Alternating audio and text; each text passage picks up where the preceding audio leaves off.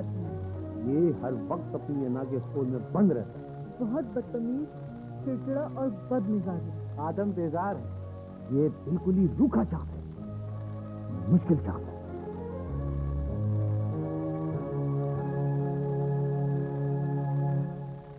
ये कमाल अहमद रिजवी के बारे में मुख्तलिफ़ लोगों की राय है।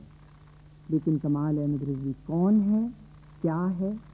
आइए कमाल अहमद रिजवी को दरियाफ्त करते हैं।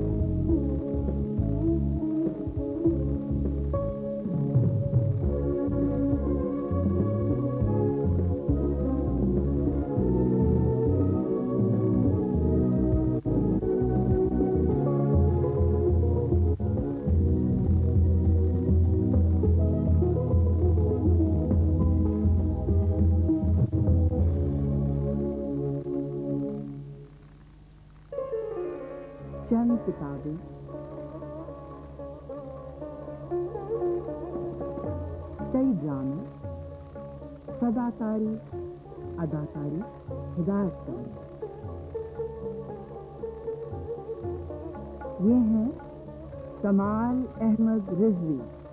अबे तू भी अपनी कहानी, अपनी स्टोरी इन्हीं अल्फाज में पब्लिक को सुनाएगा तो वो रो पड़ेगी। हाँ ट्राई तो करे एक दफ़ा। अल्लाह के प्यारो। शाबाश, बहुत अच्छा। आगे चला, आगे चल।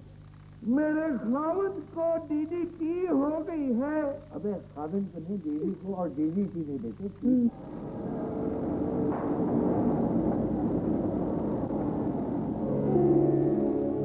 मैं सन 1930 में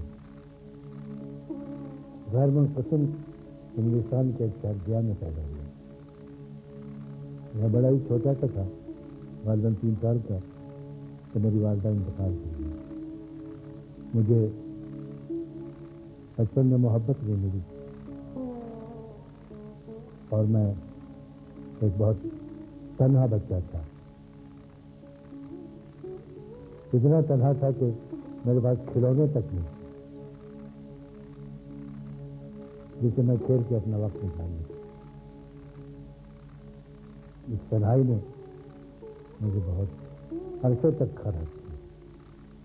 मेरे वालिद सैयद अब्दुल रशीद मरहूम एक पुलिस ऑफिसर थे। मेरा ख्याल है कि वो भी मेरी तरह ही तनहा आदमी थे। शायद इसीलिए वो मजहबी भी थे। मज़हब का उनके ऊपर बहुत गहरा असर था। और मुझे बचपन में उन्होंने जो मज़हब से मुतारफ़ कराया, उसका असर मेरी ज़िंदगी में बहुत दूर दूर तक जाता रहा। वक्त गुजरने के साथ साथ उनकी तन्हाई बढ़ती चली गई। वो मुनाफिकतों के दरमियान मोहब्बतों के मुतलाशी रहे। अदब की गुद में उन्हें बात की हरारत मिली। बारह साल की उम्र में मैंने पहली कहानी लिखी। मेरा ख्याल है कि इसकी वजह ये थी कि हमारे यहाँ रिसाले बहुत आते थे। मुझे इसी तरह याद है कि न्याज से पूरी का निगार रिसाला आता था। मैंने निगार पढ़ा। मैंने उस ज़माने में आलमगीर रिसाला आता था। तो इन चीज़ों को देख कर मेरा ख्याल है मुझे ये शौक़ पैदा हुआ कि मैं भी कहानी लिखूँ। थिएटर का भी शौक़ मेरा उसी ज़माने में पैदा हुआ।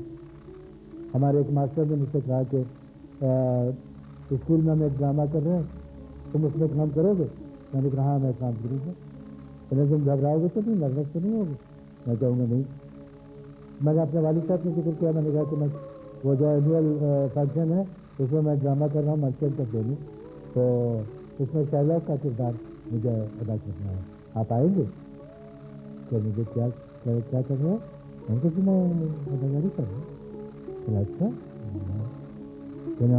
हाँ मैं बड़ा इंतज़ार करता रहा। जितने बच्चे थे, उन सब के बाप वहाँ पर आए और जो अदाकारी कर रहे थे, सब बैठे थे। सामने मेरे वाली करनी है। खैर, मैंने वो ड्रामा किया। जब पिंडाल उठ गया, सब चले गए। सारे वो कॉस्ट्यूम उतर गए। मैंने शहलॉक का ड्रेस उतार करके हवाले कर दिया। तो इतने में देखा कि मेरे वाली साहब छतरी काटे हुए तो चले आ रहे हैं। बोले हाँ भाई, वो तो तुम्हारी बकवास खत्म हो गई? मैंने कहा कि हाँ। This was the first intensive I got. Anyway, nice day. नौजवान कमाल अहमद रफी ने बहुत से ख्वाब सजा रखे थे महरूमियों ने उनमें तलखियाँ भर दी लेकिन कुछ कर गुजरने का अभी कभी मान नहीं पड़ा नहीं नहीं बाबू नहीं नहीं ग्रेजुएशन करने के बाद मैं ताज़ा ताज़ा ग्रेजुएट पाकिस्तान आ गया।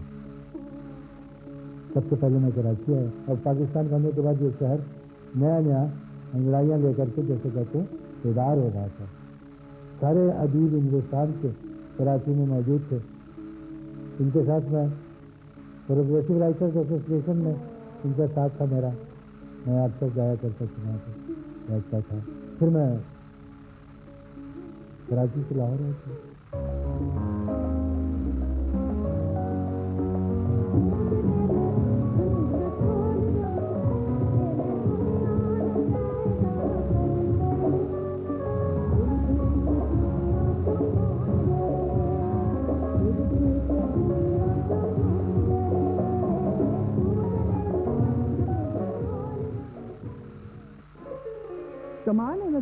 को लाहौर में अपनी सलाहियतों के इजहार के मौके मिले रेडियो पर स्क्रिप्ट लिखने के साथ साथ सदाकारी भी की। अंग्रेज़ी कुतुब के उर्दू तर्जमे किए। थिएटर के कई ड्रामे लिखे, अदाकारी भी की। बच्चों के कई रिसालों के मुदीर के फ़रज़ भी अंजाम दिए। ज़िंदगी की तलखियाँ, माशरे की नाहमवारियाँ बाख्तियार अफराद की मुनाफकतें और इंसान का कर्ब कमाल अहमद रिजवी की तकलीफों का ईंधन बना उस जमाने में हमारे यहाँ रेडियो ही टेलीविज़न था। अजीब अल्फाज से तस्वीर तकलीफ़ करते थे। कमाल अहमद रिजवी ने आवाज़ की दुनिया में कई बरस शाहिरी की।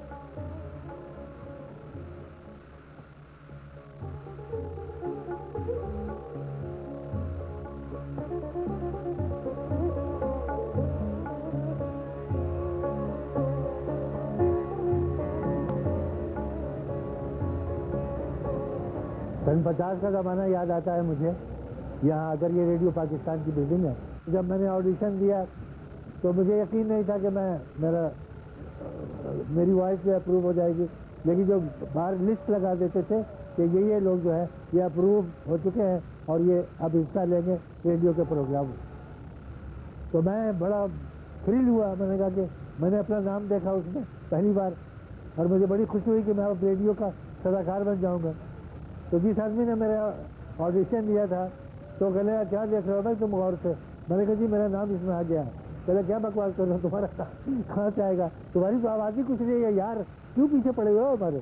तो रेडियो जो है, मेरी ज़िंदगी का एक बहुत बड़ा गहवारा था।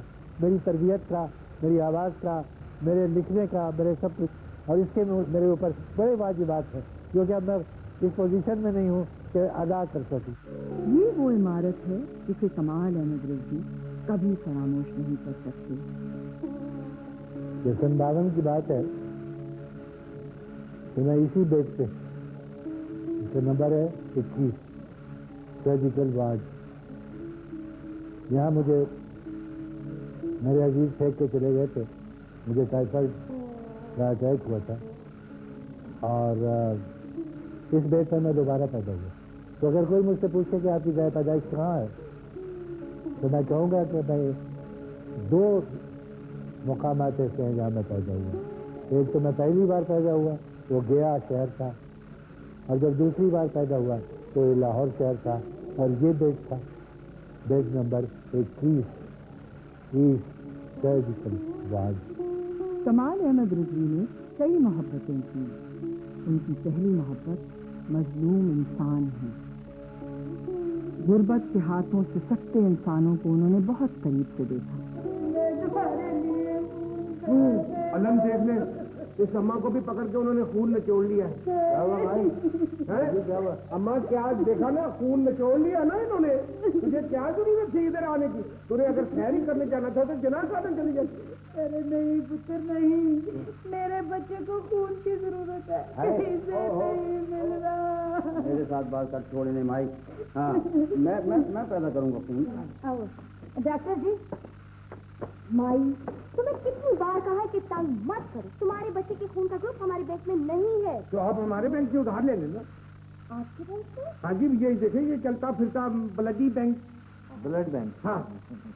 तो आ- आपके आपके का ग्रुप क्या है? शरीफों का ग्रुप है जी। हमारे अंदर तो ईमानदारी और शराफत का ही खून है। आप चिराग लेके भी ढूंढेंगे तो पूरी दुनिया में नहीं मिलेगा। मेरा मतलब ये है कि आपके खून की क्वालिटी क्या है? बेस्ट क्वालिटी है। रत्ती भर मिलावट नहीं है। खालस। उनकी दूसरी मोहब्बत किताबें हैं।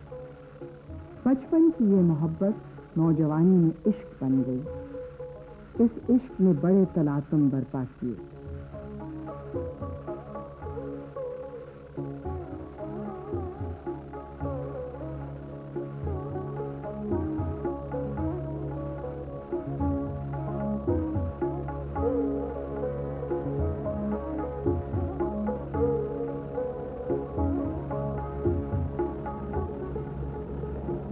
ये है पंजाब पब्लिक लाइब्रेरी और इससे मेरा इतने बरसों का ताल्लुक रहा है। जब जब से मैं लाहौर आया हूँ, और जिस दिन पहली दफ़ा मुझे पता चला कि यहाँ कितनी बड़ी लाइब्रेरी है, जहाँ किताबों का इतना ज़ख़ीरा है कि जिसके इस्तेफादे के लिए यहाँ पर लाहौर के सारे मुस्तनद अदीब क्या गुलाम रसूल महर, क्या अब्दुल मजीद सालिक क्या इम्तियाज़ ताज, क्या हकीम अहमद फिजा क्या रफ़ी बड़ी बड़ी कदावर शख्स हफीज़ जालंधरी। ये सारे लोग यहाँ आया करते थे और अपने इल्म की प्यास बुझाया करती थी। तारुफ इससे हुआ तो मैं भी ये, मेरा भी ये आशियाना बन गया। और 1900 याद नहीं मुझे, बावन से लेकर तकरीबन पैंसठ तक मेरा यहाँ आना जाना ऐसे ही था, जैसे जैसे मतलब रिलीजियसली आदमी जाता हो कहीं। ये मेरा एक ऐसा अड्डा था जहाँ से मैंने इतने ड्रामे पढ़े यहाँ यहाँ से। यहाँ मेरे उन लोगों से तारुफ हुआ जिनके मैंने कभी नाम नहीं सुने थे। यहाँ मैं चकोप से मिला, बर्नार्ड शॉ से मिला, शेक्सपियर से मिला, यहाँ पे हेस्टिंगबर्ग से मिला टॉलस्टाई से मिला बेशुमार नाम। इतने नाम जिनको गिनाना किसी के बस की बात नहीं है। जैसे यहाँ पर जितनी किताबें हैं उनको गिनना किसी के बस की बात नहीं। कमाल अहमद रिजवी की तीसरी मोहब्बत थिएटर है। 1956 में तरक्की पसंद तहरीक से ताल्लुक़ रखने वाले कलमकारों पर रेडियो के दरवाजे बंद थे तो कमाल अहमद रिजवी ने थिएटर का रुख किया। लाहौर में जो मुझे सही मानों में थिएटर का ब्रेक मिला वो आर्ट काउंसिल के एग्जामे से हुआ? इसका नाम था बादशाह के खात्मा। और ये फैसला आपके फरमाइश पे हमने मंदो साहब की बरसी के मौके पे किया था। बल्कि मंदो साहब से मैंने एक बार मरतबा अर्ज़ किया कि मैं इस कहानी से बहुत मुतासर हूँ। और क्या ऐसा हो सकता है कि मैं इसका ड्रामा बनाऊँ और इसे इनैक्ट करूँ? तो मंदो साहब ने झिड़क के मुझसे कहा कि तुम क्या बनाऊँ? क्या मुझे ड्रामा बनाना नहीं आता? मुझे लिखना नहीं आता। अगर मुझे ड्रामा बनाना होता तो मैं ये कहानी बोलता मैंने कहा कि हो सकता है कि आपके बाद में ये कर लूँ। तो कहने, देखो मेरे सुधार अव्वल तो मैं मरा नहीं हूँ, और दूसरे तुम अभी पैदा नहीं हुए लेकिन जिस दिन मैंने ये ड्रामा खेला, उस शाम मुझे ऐसा लगता है जैसे मैं पैदा हुआ कई साल ऐसे हुए थे जबकि लाहौर शहर में थिएटर को एक बहुत संजीदा सरगर्मी के तौर पर लिया जा रहा था और आर्ट काउंसिल में मुख्तलिफ़ ड्रामे इस सिलसिले में हुए और उसमें सबसे पेश पेश जो थे वो कमाल मदरवी थे, जिन्होंने मुख्तलिफ़ लिखने वालों से लिखवाए ड्रामे और फिर प्रोड्यूस किए। मसलन बानो कुफ्तिया से, अशफाक अहमद और ये लोग, एक आध ड्रामा मेरा भी उन्होंने किया। तो ये वक्त था ये मेरे ख्याल में ये बासठ, तिरसठ, चौंसठ के साल में। जब कमाल अहमद रिजवी इस मैदान में, एक डायरेक्टर के तौर पर थिएटर के डायरेक्टर के तौर पर उभर रहे थे। और ये नज़र आता था कि अब इस मुल्क में थिएटर एक संजीदा फनी सरगर्मी के तौर पर उभरेगा और एक उसकी एक रिवायत बनेगी और कमाल अहमद रिजवी उसमें एक बहुत बड़े डायरेक्टर की हैसियत होगी। यानी वो इस इस रिवायत के रूए रवा होंगे।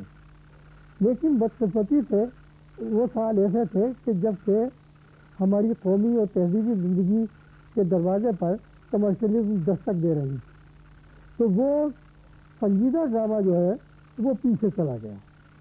तो उसके साथ कमाल अहमद रिजवी भी पीछे चले गए। फिर हमने उन्हें टीवी पर देखा।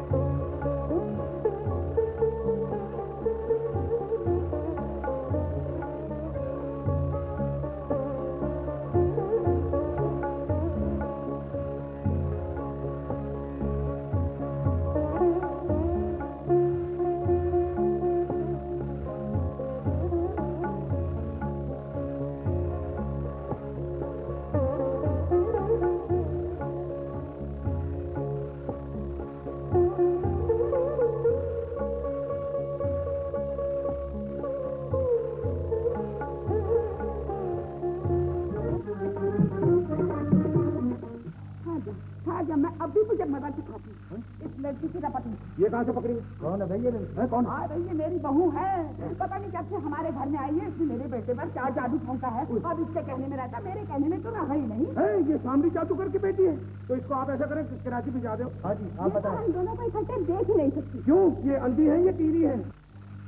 अबे लानत है तेरे ऊपर कि तू इस लड़की की साइड ले रहा है? हाँ तो लानत है तेरे ऊपर कि तू इस बुढ़ी झटो की साइड ले रहा क्या कहा उसको? बुढ़ी झटो बुढ़ी झटो। बुद्धि झटो? बुढ़ी झटो। फिर कहो एक दफ़ा तो क्या करने का? मैं मुँह तोड़ दूँगा तुम्हारा। मैं भी तोड़ दूँगा तुम्हारा। अलिफ नून न सिर्फ़ उस दौर का बल्कि आज भी पीटीवी का मकबूल तरीन प्रोग्राम है। वो दौर ऐसा था यानी उनहत्तर और सत्तर का दौर था। मुल्क में सियासी तब्दीलियाँ होने वाली थी। इलेक्शन शुरू होने वाले थे और मसाइल पर ज़्यादा तवज्जो दी जा रही थी। अलिफ नून का सबसे बड़ा कमाल जो था और सबसे बड़ी खूबी ये थी, जिसने उसको इतना मकबूल बनाया कि जब प्रोग्राम शुरू होता था तो सड़कें वीरान हो जाती थीं, दुकानें बंद हो जाती थीं, और अगर कहीं किसी जगह टेलीविज़न सेट लगा होता था तो लोग वहाँ जमा हो जाते थे। कमाल। लोग कहते हैं कि अलिफ नून में अलिफ, यानी अल्लन से ज़्यादा नून, यानी नन्हे का कमाल था। नन्ना कैसा आर्टिस्ट था? इसमें कोई शक नहीं है कि अलिफ नून में नन्हे की बहुत बड़ी कंट्रीब्यूशन थी और उसकी अदाकारी से इसमें चार चाँद लग गए। मैं अकेला कुछ नहीं कर सकता था, जैसे नन्ना अकेला इस प्रोग्राम में कुछ नहीं कर सकता। जब जोड़ी बनती है तो उसका कमाल यही है कि दो दो कैरेक्टर आपस में इतने घुल मिल के आते हैं आपके सामने कि उनको आप बमुश्किल एक दूसरे से जुदा कर सकते हैं। इसकी पॉपुलैरिटी का मैार नन्हे की वजह से भी था और अल्लन की वजह से भी था। ये एक अजीब इत्तेफाक की बात है कि अल्लन में खुद था कमाल अहमद रिजवी ने बहुत दुख समेटे। ज़िंदगी ने जो घाव लगाए, उनसे टीसें अब भी उठती हैं। कमाल अहमद रिजवी ने यकम मई 1965 को स्टेज आर्टिस्ट नुजरत रफ़ी से शादी की लेकिन जल्द ही इन्हें तलाक दे दी। मेरा ख्याल है कि नादानी की शादियाँ जो होती हैं उनका अंजाम यही होता है। मेरा ख्याल है वो बहुत ही नादानी की शादी थी मेरे लिए भी और नुसरत रफ़ी के लिए भी। और शुक्र है कि हम अपनी अपनी जगह पे इलादा होके खुश हैं। हेलो? जी क्या नुजरत है जी मैं नज़र बोल रही हूँ। जी नुजरत आज बात कर रही हूँ पाकिस्तान से। हाँ जी हाँ। एक दफ़ा इंटरव्यू जी जी जी मैंने फ़ोन किया था। कमाल साहब पे पीटीवी एक प्रोग्राम कर रहा है पोर्ट्रेट के नाम से। उस सिलसिले में आपसे बात करनी थी। हाँ ज़रूर। क्या आप मिस करती हैं उनको? हाँ ये तो है लेकिन अब आप तो मैं क्या करूँ इस वक्त में? मेरे मौजूदा मियाँ मेरे पास पैसे हैं। बस इतना ही अफसोस होता है कि ये बात हमारी चली नहीं। अगर ज़्यादा समझ थोड़ी सी मुझमें होती तो शायद मैं संभाल लेती उस रिश्ते को निभा लेती। अच्छा ये बताइए कि आपने दूसरी शादी कमाल साहब से अलहदगी के कितने अरसे बात की थी? क्या मतलब? जब आपने शादी की थी उसके बाद उन्होंने दूसरी शादी कब की और आपने कब की? अ, उसके बाद उन्होंने तो शायद दस साल बात की थी और अमीना अब्दुल्ला से। अच्छा। मैंने चौदह साल बाद। अच्छा। अच्छा। तो मैंने ज़्यादा इंतज़ार किया। किसका इंतज़ार किया था? तुम्हारे रहने का। मतलब बेटे को कमाल साहब बहुत मिस करते हैं। आप इन दोनों के दरमियान ब्रिज भी तो बन सकती थी। कमाल को मैंने थैंक यू कहना था। उन्होंने अली के लिए एक किताब अपनी भेजी है साइन करके। अच्छा। वो कोई शख्सियत नंबर जी शख्सियत नंबर था उनका। जी जी जी। तो वो अली को मैंने पहुँचा दिए। लेकिन अली जरताज अली यहाँ अब इतना बिज़ी है बेटे उसकी शादी भी हो गई है अब तो उसकी माशाल्लाह दूसरी बच्ची भी हो गई है। तो अ, अली से अगर आपकी बात नहीं हुई तो मुझे कोई हैरत नहीं हुई मेरी भी उससे काफ़ी कई कई दिन बात नहीं होती जब से हमारी नुजरत रफ़ी से जुदाई या कहिए मामला ख़त्म हुआ तो उसके बाद वो लड़का मुझसे छीना ही रहा। और ऐसी इन शादियों के तलाक के बाद जो सबसे ज़्यादा असर पड़ता है वो बच्चे पर ही पड़ता है। और हम में, हम दोनों में एक वो रैपो पैदा नहीं हो सका, जो एक बाप और बेटे के दरमियान होता है। मुझे आम बाप की तरह महसूस नहीं हुआ, शिद्दत के साथ। शायद वो मेरे पास होता तो मुझे बहुत शिद्दत के साथ महसूस होता। उसके बारे में मैं बहुत शिद्दत के साथ सोचता। लेकिन कुछ जहन में तलखियाँ और कुछ जहन में कुछ कदूरतें होती हैं इंसानी इंसानी तबीयत का खासा है ये। लेकिन ये है कि मैं अ, फिर भी उसको मिस करता रहा। ये दूरियाँ जो हैं हम दोनों के मोहब्बतों को और हमारे जो जज्बात थे उनको आहिस्ता आहिस्ता उस पर असरअंदाज होती रही और उसका बड़ा बड़ा बुरा नतीजा हुआ। जब इनकी पहली शादी खत्म हुई है उस शादी में से इनका एक बेटा है तो फिर मैं रावलपिंडी गई चैलेंज वीकली लिए एक इनका सीरियल था। बहुत ही बोल्ड किस्म का और बहुत ही खूबसूरत लिखा हुआ। तो उसमें मैं काम कर रही थी, लाहौर से मुझे वहाँ बुलाया गया था। टीवी स्टेशन से बाहर निकले तो एक गाड़ी में कोई पेरेंट्स एक बच्चे को छोड़ गए हुए थे। तो कमाल साहब, उस बच्चे को देख के जो मैंने इनमें एक मोहब्बत और वो एक जो वालदेन में एक बेनतहा अपनी औलाद के साथ एक उन और मोहब्बत होती है। वो मैंने देखी और मैं बड़ी परेशान हुई, क्योंकि इनके पहले मिजाज से मैं वाकिफ थी। मैंने कहा, ये कितना बड़ा एक चेंज है। उसके बाद ये कहने लगी, ये मेरा बच्चा बिल्कुल मेरे बेटे की तरह नहीं लगता। मैंने देखा, मैंने फील किया कि ये उसको याद करके कुछ ऐसा महसूस कर रहे हैं। मैंने कहा, नहीं नहीं नहीं, कमाल साहब, आपका बेटा इससे बहुत खूबसूरत है प्यारी शक्ल का है। तो नहीं नहीं नहीं वो उसी तरह रहा उसको जाके इन्होंने प्यार किया पुचकारा यकम मई 1975 में अमीना अब्दुल्ला इनकी दूसरी शरीक हयात बनी। लेकिन इस शादी का अख्ताम भी तलाक पर हुआ। दूसरी शादी थी वो डेस्परेशन की शादी थी। वो मैं इतना डेस्परेट था कि मुझे किसी का सहारा चाहिए था यूँ समझ लें। और उस वक्त मुझे अमीना अब्दुल्ला में वो सारी खसूसियात और सारी चीज़ें नज़र आई कि यही होगी लेकिन वही मैंने अर्ज़ किया कि डेस्परेट होकर जो शादी होती है उसका भी अंजाम वैसे ही होता है जो नादानी वाली शादी का होता है। 16 अक्टूबर उन्नीस को कमाल अहमद रिजवी ने तीसरी शादी इशरत जहाँ से की। ये 83 वाली शादी जो थी ये हमारी कामयाब शादी कही कहलाई जा सकती है। और अभी तीन या चार दिन पहले ये हमारी शादी की सोलहवीं साल रही थी और कभी कभी मुझे हैरानी होती है कि मैं इतने अरसे तक एक खातून के साथ कैसे ठीक किया। मेरा ख्याल ये कमाल मेरा नहीं है। ये सारा कमाल उस खातून का है, जिसने मुझे वो सब कुछ दिया, जो मेरा ख्याल है कि दस शादियाँ भी मैं करता और तो मुझे ना मिलती। इससे ज़्यादा मैं उनके शान में और क्या कसीदा कोई कर सकता। उनकी जो रिपुटेशन थी दो तलाकों के बाद वो वो भी वैसे काबिल कबूल नहीं थी कम अज़ कम मेरे ख़ानदान में। तो ये कि मैंने बड़ी मुश्किल से आ, अपने वालिद को राज़ी किया था शादी पर। इनको लोग जो हैं बहुत मुश्किल से समझ पाते हैं। उनको समझने में बड़ा टाइम लगता है और मेरे ख्याल में मैंने उनको समझने की कोशिश की। और इसी वजह से शायद हमारी शादी कामयाब भी रही।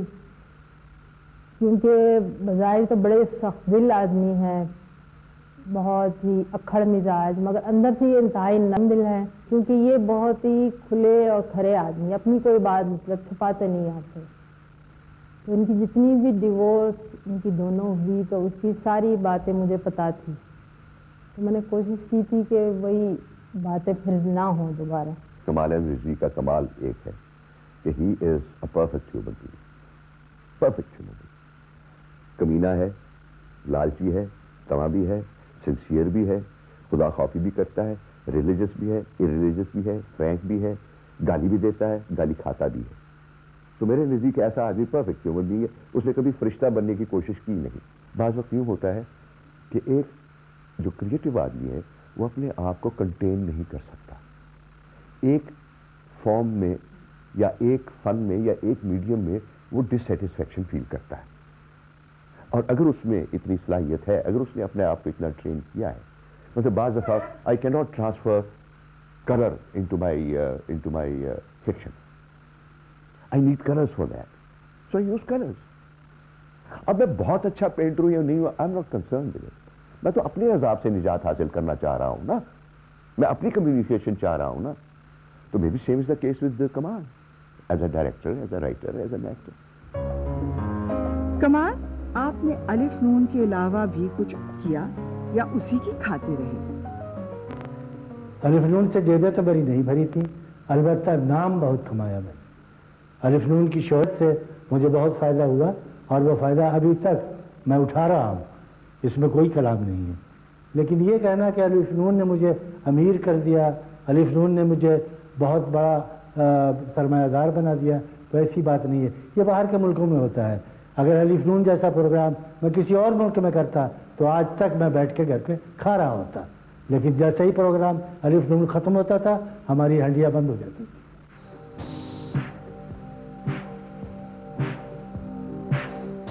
1985 में मिस्टर शैतान ने बहुत सी शैतानियाँ की।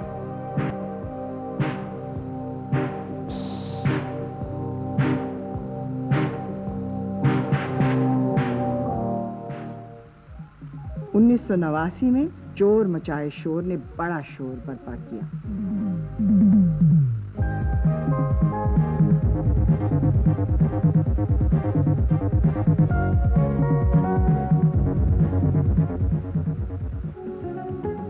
उन्नीस सौ इक्यानवे में कमाल अहमद रिजवी ने नया सबक पढ़ाने की कोशिश की।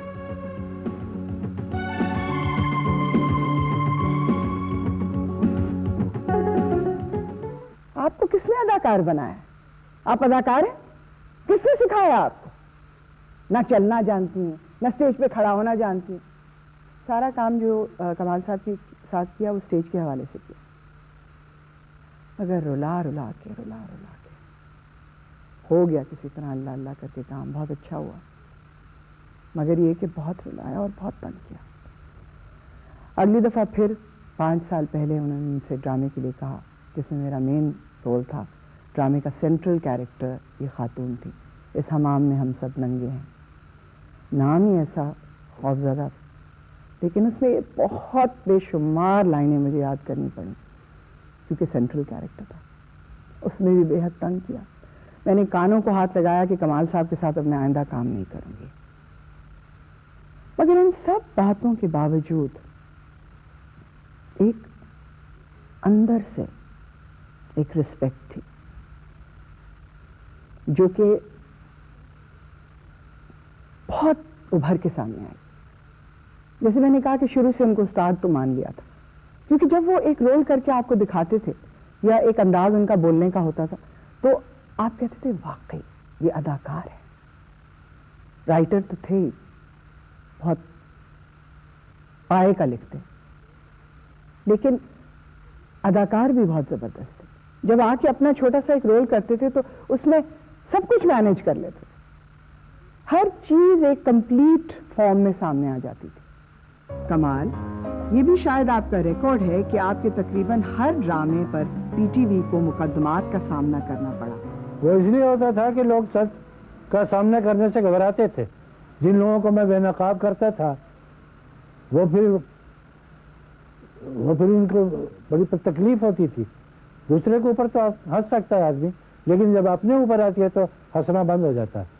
बेशुमार मुकदमे खड़े हुए, बेशुमार लोगों को टेलीविज़न के हुकाम में से जा करके कटारों में खड़ा होना पड़ा, यहाँ लाहौर में, जब मैं शुरू में अलिफनून करता था। बहुत से लोगों ने जा करके इस्लामाबाद बाद में जा करके सीरियल को बंद कराने की कोशिश की, या उस एपिसोड को बंद कराने की कोशिश की जिसके बारे में उनको अंदरूनी तौर पर मालूम हुआ कि वो उनके खिलाफ है।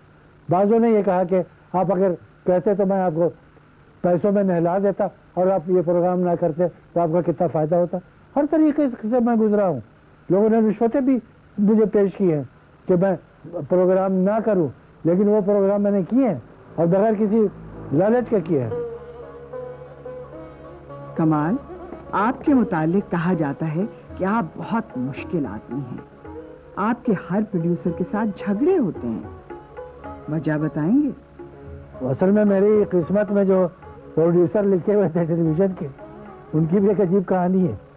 यानी हर आदमी ने मेरे प्रोग्राम से अपना करियर का, यानी कि आगाज़ किया, मशहूर हुए। ये वो लोग थे जो जिनका नाम नहीं था, लेकिन इस, इन इन ड्रामों से उन्होंने अपना नाम पैदा किया। तो इससे कि उनको कितना आता होगा जब उन्होंने मेरे ऊपर हाथ डाला। तो मुझे कुड़न होती थी बहुत सी चीज़ें वो नहीं कर सकते थे। जो मेरी मर्ज़ी के मुताबिक हो। वैसे यूँ तो कहने को हर राइटर यही कहता है कि जी मेरे आ, पसंद का काम नहीं हुआ। और यही प्रोड्यूसर कहता है कि जी वो स्क्रिप्ट ही नहीं था तो मैं क्या करता? लेकिन मेरे स्क्रिप्ट से प्रोड्यूसर बने हैं। और जिस तरह बने हैं वो खुद भी जानते हैं। तो मैं जब डिफ़िकल्ट होता था तो इसलिए होता था कि वो बाकायदा मश्क करते थे मेरे ऊपर। वो मतलब ये कि they were not very polish producers तो जब पॉलिश प्रोड्यूसर आप मुझे नहीं देंगे तो फिर मैं तो फिर पागलों की तरह हरकत करूँगा, और वो मैं करता था। फिर ये अच्छे प्रोड्यूसर भी यही बने हैं। कि इस प्रोफेशन से इस हद तक मोहब्बत करते हैं आर्ट की फ़ील्ड से ड्रामे की फ़ील्ड से, कि उसमें रत्ती बराबर भी वो कमी नहीं आने देते। वो चाहते हैं हर चीज़ इतनी परफेक्ट हो, इतनी स्मूथ हो, कि वो जब वो चीज़ ऑन एयर जाए तो इट शुड बी गुड मुझे तो ऐसा लगता है कि कमाल मजीदी पाकिस्तान टेलीविज़न के लिए नहीं, बल्कि हॉलीवुड के लिए बने हैं, जहाँ पर हर काम बहुत ही सिस्टमेटिक ऑर्गेनाइज वे के अंदर होता है। और थर्ड वर्ल्ड कंट्री जहाँ पर हम लोग छोटे छोटे मसाइल पर कंप्रोमाइज़ करते हैं। कमाल अहमद रिजवी ड्रामे में या पीटीवी की किसी भी प्रोडक्शन के अंदर कंप्रोमाइज करने वाला एटीट्यूड उनके अंदर नहीं है। बुद्धि हो गई है, सठिया गई है। किसी माकूल आदमी से बात करने की अहलियत नहीं रही इसमें। बेटी इसको माजूर जान के तो माफ़ कर दो। भाई देखो ना आखिर हम भी गुजारा कर रहे हैं इसके साथ। चाहे वो एक्सटेंशन पे एक्सटेंशन लेती चली जाए। हमने कभी नहीं एतराज़ किया उनकी किसी बात पर। अच्छा जी कोशिश करूँ वो लो वो तुम्हारी खाला आ गई। देखो कितनी अच्छी लग रही हैं। चलो भाई गले मिलो दोनों। शाबाश ज़ोर से। खबरदार खबरदार जो तुमने मेरी तरफ़ एक कदम भी बढ़ाया तो। कमाल आपकी तहरीरों में इतनी ज़्यादा तलखी क्यों होती है? लगता है कि जमाने से अपनी महरूमियों का इंतकाम लेना चाहते हैं। नहीं इंतकाम तो मैं नहीं लेना चाहता। अलबत्ता यह है कि ये माहौल की जितनी तलखियाँ हैं वो मैंने अपने अंदर समो ली हैं। ये तलखियाँ मेरे अंदर जमा हुई हैं। और आज से नहीं जमा हुई हैं। जब से पाकिस्तान बना है, जमा हो, ओके हो, ओके, वो इतनी भर गई है मेरे अंदर कि मैं बोलता हूँ तो मेरे मुँह से वो ऑटोमेटिकली बारूद की गोलियों की तरह निकलना शुरू होती। वो वो मेरा एक प्रोसेस है, वो एक कथारसिस है। जो निकलना शुरू होती हैं तो वो उसमें फोर्स उसमें इतना होता है कि दूसरों को यही लगता है कि जैसे मैं कोई इंतकामी कार्रवाई कर रहा हूँ। हालाँकि मेरा मकसद ये नहीं है। एक अजीब की हैसियत से एक अदाकार की हैसियत से माशरे को झिझोड़ना माशरे को आगाह करना ये सारा काम जो है ये एक मेरी ज़िम्मेदारी है जिसको मैं पूरा करने की कोशिश करता हूँ। कमाल अहमद रिजवी ने कई लॉन्ग प्ले भी तहरीर किए। उन्होंने हर लॉन्ग प्ले में ज़िंदगी की हकीकतों का इजहार अपने मखसूस अंदाज में किया। Thank you no thank you ये मैं अपने दिल से कह रहा हूँ। I don't need you you need me हाँ। आना ऐसा नई रोशनी के दफ्तर। खुदा। खुदा हाफिज। खोया हुआ आदमी कमाल अहमद रिजवी का एक शाहकार है। ये एक ऐसे शख्स की दास्तान है जिसे नौकरी से निकाल दिया जाता है। वो बहुत से दरवाजे खटखटाता है, लेकिन हर जगह नाकामी इसका मुकद्दर बनती है। इसे रोज रोज मरना पड़ता है।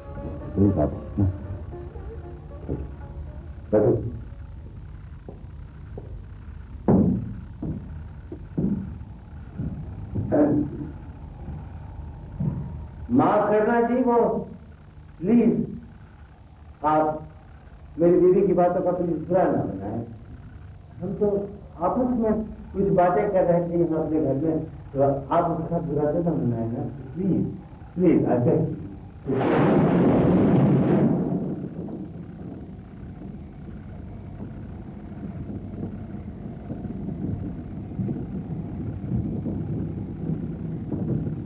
दानी इनको दानी कहाँ से मिली हैं?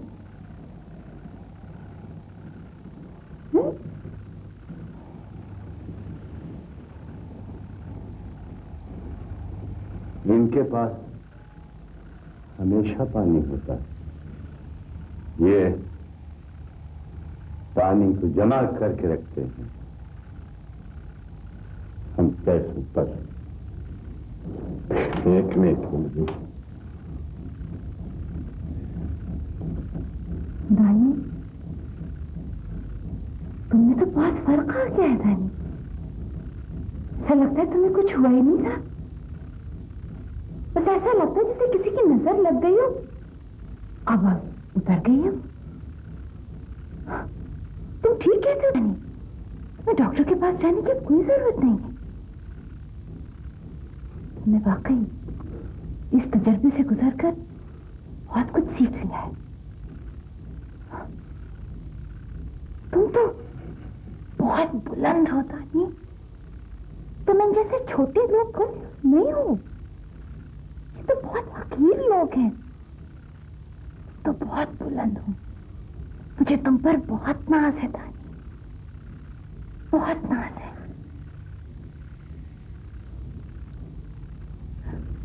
दानी पानी आ गया। पानी आ गया दानी। ओह, अब मैं जी भर के नहाऊँगी। जी भर के नहाऊँगी।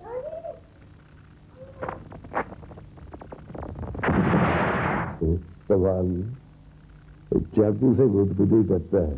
अच्छी बात तो कमाल में यही रही कि उसने यहाँ अच्छे दोस्त बनाए। मेरे ख्याल कम लोगों को शिकायत होगी कमाल। रेलवे से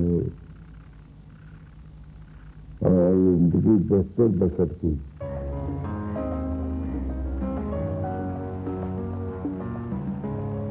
कमाल कोई शायर भी अच्छा लगा? दिल में उतरा। हाँ शायरी। एक मकबूर आदमी। ये हर वक्त अपनी अना के खोल में बंद रहता है बहुत बदतमीज चिड़चिड़ा और बदमिजाज। है आदम बेजार है। ये बिल्कुल ही रूखा चाहता है। मुश्किल चाहता है।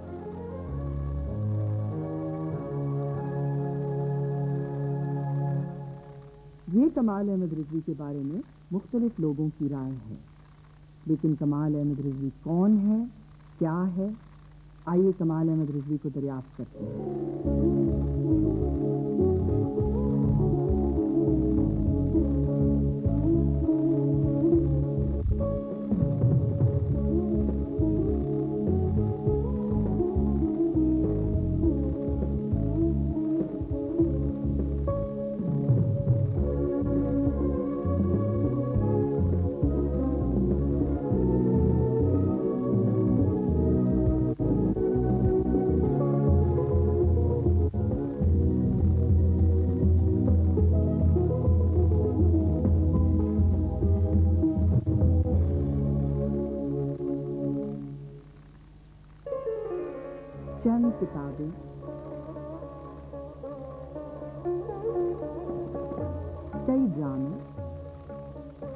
सदाकारी अदाकारी हिदायतकारी।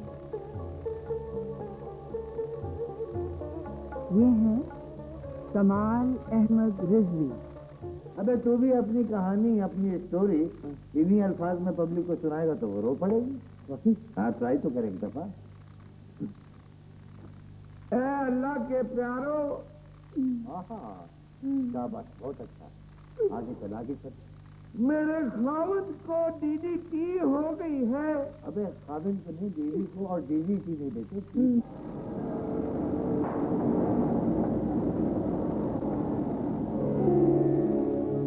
मैं सन 1930 में गैर मुनकसम हिंदुस्तान के एक में पैदा हुआ।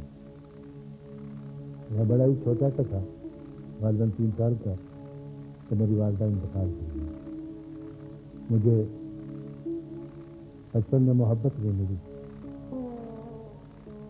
और मैं एक बहुत तन्हा बच्चा था। इतना तन्हा था कि मेरे पास खिलौने तक नहीं, जिसे मैं खेल के अपना वक्त निकाल इस तन्हाई ने मुझे बहुत अरसे तक खड़ा मेरे वालिद सैयद अब्दुल रशीद मरहूम एक पुलिस ऑफिसर थे। मेरा ख्याल है कि वो भी मेरी तरह ही तनहा आदमी थे। शायद इसीलिए वो मजहबी भी थे। मज़हब का उनके ऊपर बहुत गहरा असर था। और मुझे बचपन में उन्होंने जो मज़हब से मुतारफ़ कराया, उसका असर मेरी ज़िंदगी में बहुत दूर दूर तक जाता रहा। वक्त गुजरने के साथ साथ उनकी तन्हाई बढ़ती चली गई। वो मुनाफिकतों के दरमियान मोहब्बतों के मुतलाशी रहे। अदब की गुद में उन्हें बात की हरारत मिली। बारह साल की उम्र में मैंने पहली ग्रानी लिखी मेरा ख्याल है कि इसकी वजह ये थी कि हमारे यहाँ रिसाले बहुत आते थे। मुझे इसी तरह याद है कि न्याज से पूरी का निगार रिसाला आता था। मैंने निगार पढ़ा। मैंने उस ज़माने में आलमगीर रिसाला आता था। तो इन चीज़ों को देख कर मेरा ख्याल है मुझे ये शौक़ पैदा हुआ कि मैं भी कहानी लिखूँ। थिएटर का भी शौक़ मेरा उसी ज़माने में पैदा हुआ। हमारे एक मास्टर ने मुझसे कहा कि स्कूल में हम एक ड्रामा कर रहे हैं, तुम उसमें काम करोगे? मैंने कहा हाँ मैं काम करूँगा। पहले तुम घबराओगे तो नहीं नर्वस तो नहीं होगी। मैं कहूँगा, नहीं। मैंने अपने वालिद साहब ने ज़िक्र किया, मैंने कहा कि मैं, वो जो एनुअल फ़ंक्शन है, उसमें मैं ड्रामा कर रहा हूँ मर्चेंट ऑफ़ डेली तो उसमें शैलॉक का किरदार मुझे अदा करना है। आप आएँगे? तो मुझे क्या क्या, क्या करना है? मैंने कहा कि मैं अदाकारी कर रहा हूँ अच्छा। हाँ मैं बड़ा इंतज़ार करता रहा। जितने बच्चे थे उन सब के बाप वहाँ पर आए और जो अदाकारी कर रहे थे सब बैठे थे। सामने मेरे वाली करनी है। खैर मैंने रोज़ाना किया। जब पिंडाल उठ गया सब चले गए। सारे वो कॉस्ट्यूम उतर गए। मैंने शहलॉक का ड्रेस उतार करके हवाले कर दिया। तो में देखा कि मेरे वाली साहब छतरी काटे हुए तो चले आ रहे बोले हाँ भाई वो वो तुम्हारी बकवास खत्म हो गई? मैंने कहा कि हाँ the first intensive I got. Anyway, nice day. नौजवान कमाल अहमद रफी ने बहुत से ख्वाब सजा रखे थे। महरूमियों ने उनमें तलखियाँ भर दी लेकिन कुछ कर गुजरने का अभी कभी मान नहीं पड़ा नहीं नहीं बाबू नहीं नहीं।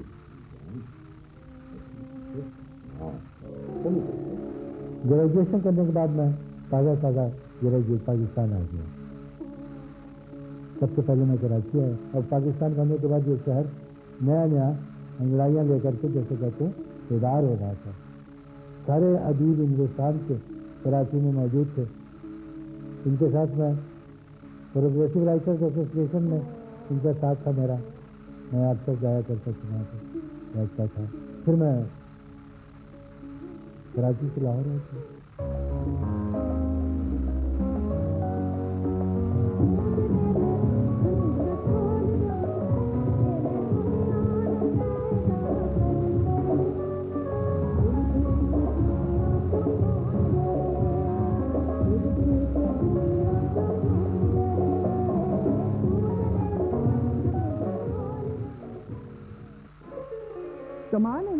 को लाहौर में अपनी सलाहियतों के इजहार के मौाक़े मिले।